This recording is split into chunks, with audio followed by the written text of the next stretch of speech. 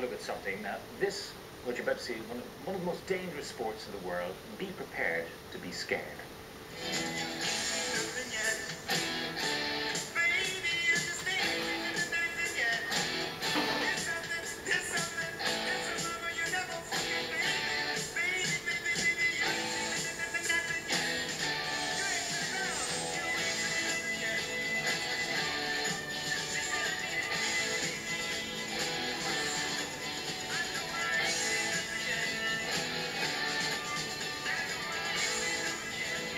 Well, that was the Irish women's bobsleigh team, and they are with us tonight. You welcome Leslie Fitzgerald, Majella Loftus, and Siobhan Hoey.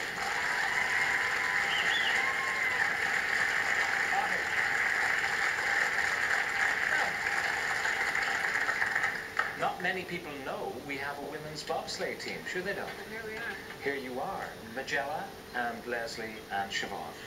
And how did this team come about? Because we don't have an awful lot of snow around here.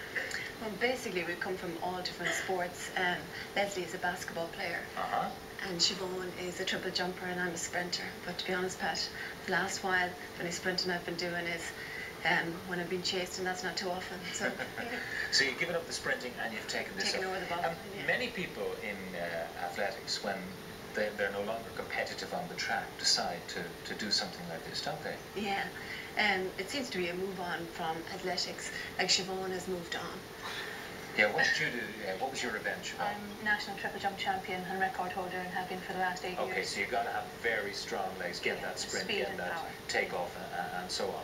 And, yeah, You know, I was going to say the thing is, it's a um, the bobsleigh is an Olympic sport for women for the first time in March 2002. So that's why the team is together at the moment. We're trying to. have you competed in together? I mean, there's two in this, isn't that so?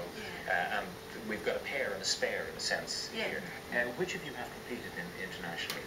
All three of us. All three yeah, at this yes. yeah, last month. You've In had Austria, we're in Austria at the World Cup. How do they react to you in Austria? I mean, Ireland would not be known for its winter sporting activities. when Well- they saw you riding with the, the green, white, and orange of the Irish. Uh, Well, the. Lycra um, was the thinnest of all the countries, so that got everybody's attention. But um, Yeah, when we lined up first, because there was two teams, there was four of us in the green, white, and gold, the Eurosport cameras, and they hadn't done for anybody else. It's like cameras came from everywhere. They got people out of the way, and they just came straight at us because we are, in a way, like the Jamaicans. We are kind of a novelty cool factor. We are are, yeah, we are a novelty factor. And how did the other competitors react to you? I mean, they must have thought you were no hopers coming from Ireland. absolutely, uh, initially they were all talking to us and really friendly, going, "Oh God, here comes the Irish," you know, the poor Irish, whatever else. and then next we were doing really, really well. Like in trials, came at 14th, and then 18th out of 32 countries.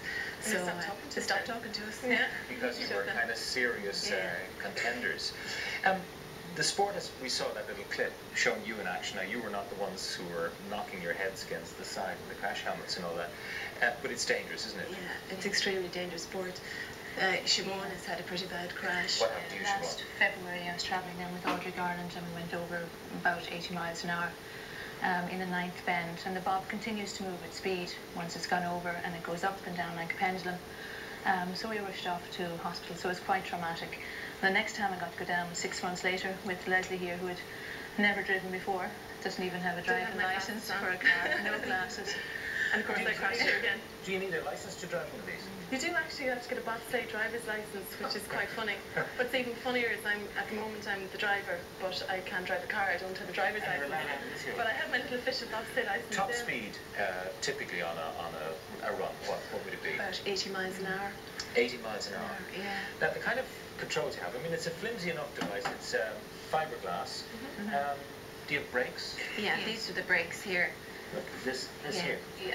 Okay, just And let that camera see that. And that kind of digs into the ice below, Yeah, doesn't teeth, teeth come down. Teeth are down. And what about steering? Can you steer this thing, or are you at the mercy of the Yeah. slope? These are called D-rings and they're the pulleys. This- And you Okay, yeah. steer the blades from the front.